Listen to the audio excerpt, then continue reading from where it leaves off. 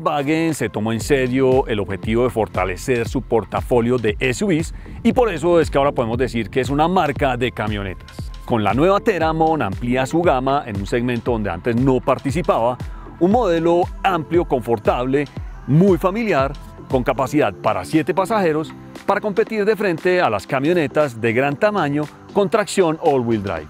Bienvenidos a Autos de Primera, mi nombre es César Arboleda y hoy los invito a conocer la Volkswagen Teramon un modelo que también se conoce en otros mercados como Atlas.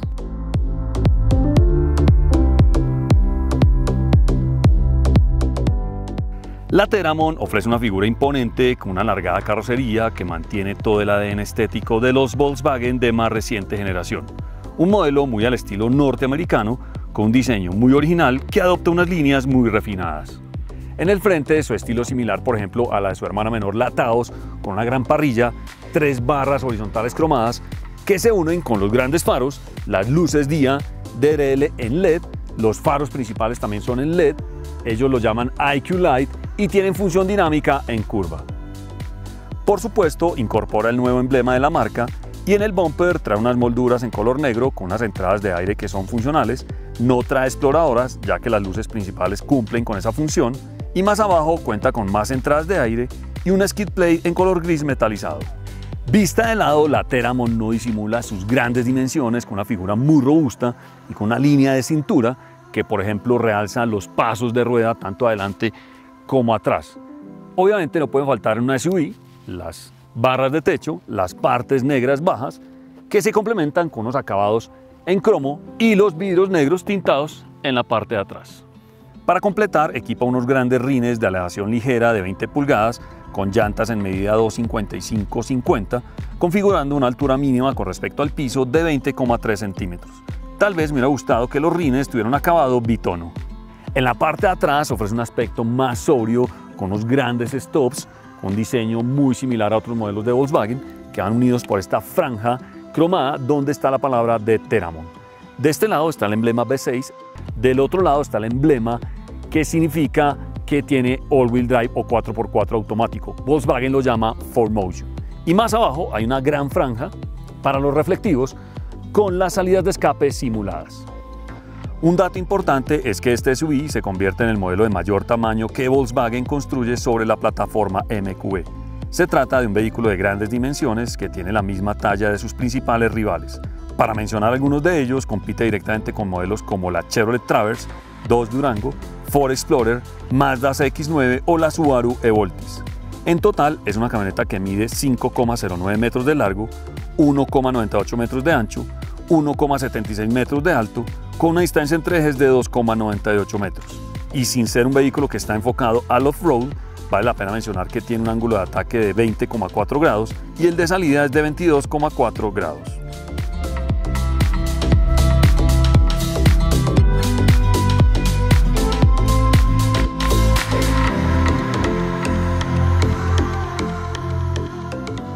Debido a su flexible plataforma y a sus grandes dimensiones, la Teramon ofrece un habitáculo muy espacioso con una muy buena calidad de materiales y acabados, blandos por casi todo el interior del carro, que combinan con algunos acabados metalizados y esta pieza en simulación madera que le da un toque mucho más elegante al interior de este carro. Un punto a destacar es que trae el nuevo diseño de volante de última generación de Volkswagen, con muy buenos materiales y acabados. Por supuesto, se puede regular en diferentes posiciones manualmente. Me hubiera gustado que fuera eléctrico ya en esta categoría. Y encontramos pues algunos botones para manejar el sistema de infoentretenimiento o el computador de a bordo. Precisamente al frente hay que destacar la presencia del tablero de instrumentos digital llamado Active Info Display, con una pantalla de 10 pulgadas y cuyo aspecto se puede personalizar mediante un botón en el volante. Allí podemos ver todos los datos de la conducción y también podemos ver el funcionamiento de varias ayudas avanzadas a la conducción que más adelante les voy a contar. A esto se suman unas muy buenas sillas, una muy buena sujeción, la verdad es que uno queda muy cómodo, muy confortable, con una buena visión en todos los ángulos. Son forradas en cuero micro perforado y tienen función de calefacción y ventilación desde estos botones, ambas sillas delanteras. Además, ambas también son eléctricas, solo que la del conductor tiene memorias. Pasando a la consola central, presenta una pantalla táctil de 8 pulgadas, es un poco más pequeña que otros modelos de Volkswagen, pero eso se debe a que tiene algunos accesos directos en la parte lateral. La verdad es que yo prefiero estos botones para subir y bajar el volumen, prender el radio o cambiar una emisora.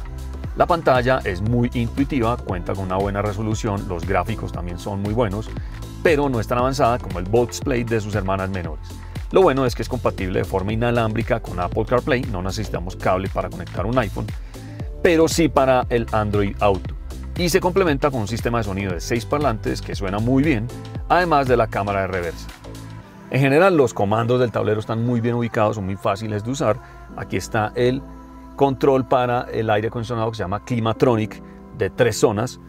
Tiene un muy buen espacio donde poner el celular con cargador inalámbrico, dos puertos USB tipo C, encendedor de cigarrillos, una muy buena palanca de cambios, forrada en cuero, la verdad es muy buena eh, calidad de fabricación, dos portabotellas, una acabado en piano black que hay que cuidarlo, botón de encendido, freno electrónico, de aquí yo puedo encender la cámara de visión de 360 grados, la ayuda para el parqueo, además del selector Active Control para los modos de manejo.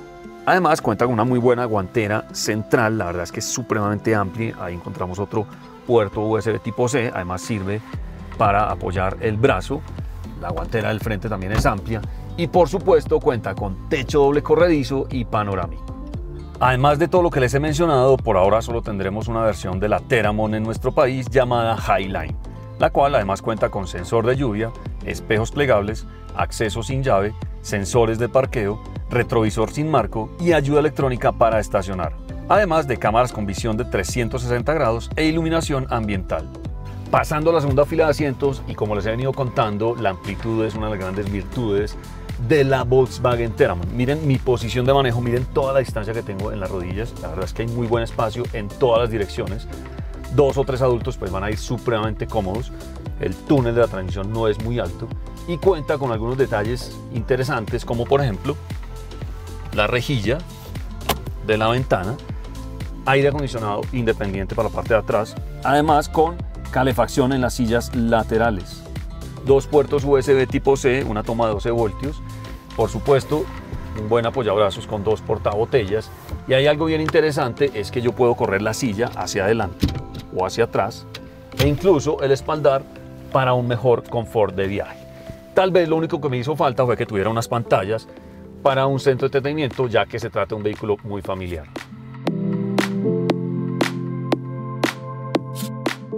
En nuestro país se configuró la Teramon con una capacidad para 7 pasajeros, o sea que cuenta con tercera fila de asientos de un acceso muy fácil, simplemente jalamos ese dispositivo y podemos acceder a la tercera fila, donde en realidad, miren, yo creo que es una de las terceras filas de asiento más cómodas que yo me he montado.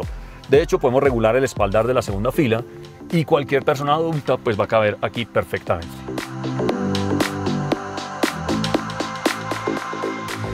Pasando a hablar del maletero o el baúl, la verdad es que es muy práctico tiene eh, apertura eléctrica, pero no tiene función de manos libres, eso sí me hizo falta. Y aquí hay algo bien interesante, y es que si usamos las tres filas de asientos, tiene un muy buen espacio de 583 litros de capacidad. Eso no es muy usual en los vehículos de tres filas de asientos. Y si plegamos el espaldar de las sillas traseras, pues va a quedar un piso completamente plano, la verdad muy amplio. Y si desplegamos todas las sillas, el espacio va a subir a más de 2.700 litros. La verdad es que es impresionantemente grande el espacio en la parte de atrás. Debajo, pues está la llanta de repuesto temporal. Hay un pequeño espacio también que sirve como doble fondo. Y de los lados, pues también hay más espacios donde guardar cosas. Y con respecto a la seguridad, este es un punto muy importante para Volkswagen en la Teramon. Por eso lo equipó con asistencias a la conducción, como el control de crucero adaptativo, frenado autónomo de emergencia, alerta de punto ciego y luces adaptativas, además del Front Assist, que sirve para detectar peatones y vehículos en la vía. A ello se suman elementos tradicionales como los 6 airbags, frenos ABS con EBD, control de estabilidad y tracción, sistema del control electrónico del diferencial, asistente de arranque y descenso en pendientes, activación de las luces direccionales en caso de emergencia, sistema de asistencia hidráulica de frenado, anclajes ISOFIX para las sillas de los niños y el Park Assist que es muy útil a la hora de estacionar el vehículo.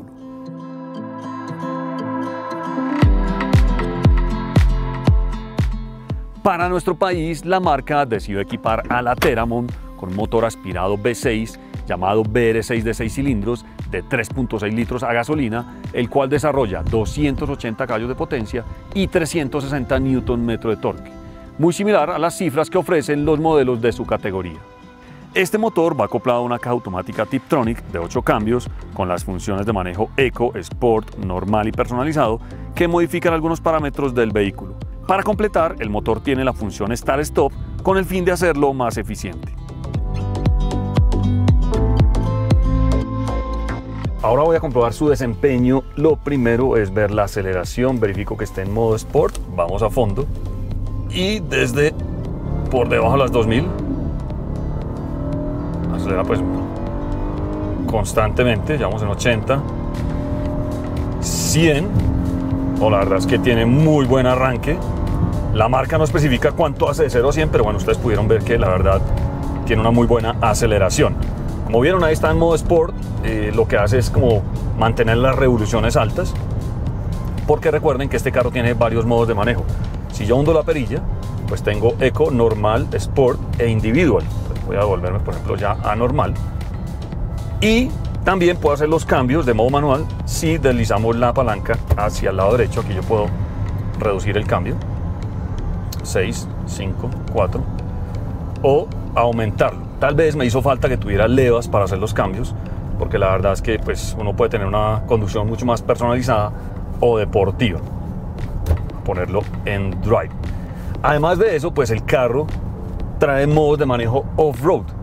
Recuerden que este carro pues tiene tracción 4Motion, eh, que es un all-wheel drive, que es una tracción 4x4 automática, o sea que él manda la potencia a la rueda que lo necesite de acuerdo pues al modo de manejo o a las circunstancias del terreno. Entonces yo por ejemplo, eh, si quiero eh, tener un modo de manejo off-road, bueno aquí los tengo, simplemente voy seleccionando la perilla de este lado.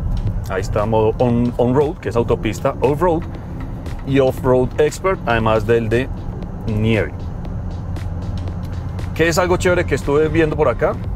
Es que eh, en modos off-road tengo esta información. Puedo ver, por ejemplo, acá la inclinación, o puedo ver la altura, eh, la brújula, o yo puedo deslizar y cambiar, digamos, la ubicación de los relojes, bueno, la verdad, pues esa parte está muy chévere. La verdad es que este carro es perfecto para salir de viaje largo en autopistas. Seguro van a disfrutar muchísimo porque es un carro muy confortable, la verdad. Eh, ofrece una muy buena posición de manejo. Me ha gustado también mucho la suspensión. Eh, y también la insonorización. Realmente no se escuchan muchos ruidos exteriores del auto. La verdad es que el carro está pues muy bien fabricado. Los plásticos no suenan mucho, pues que a veces suele suceder con algunas camionetas de esta categoría. Y recuerden que este carro cuenta con algunas ayudas avanzadas a la conducción, como el control de crucero con limitador de velocidad y es adaptativo. Todo eso se maneja desde este lugar. Yo puedo guardar o mantener la distancia con el vehículo que va enfrente.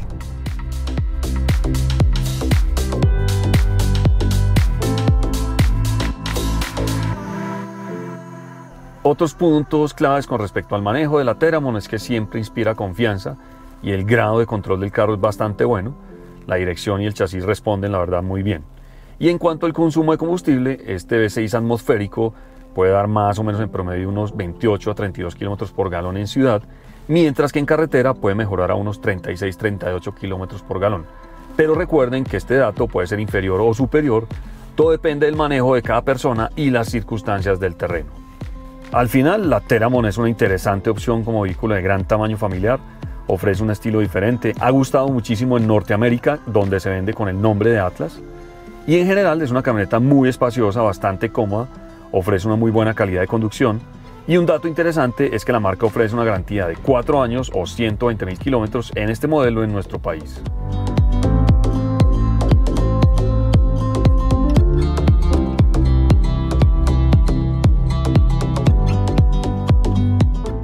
Como pudieron ver, la Teramon es un SUV que hacía falta en el portafolio de Volkswagen en nuestro país.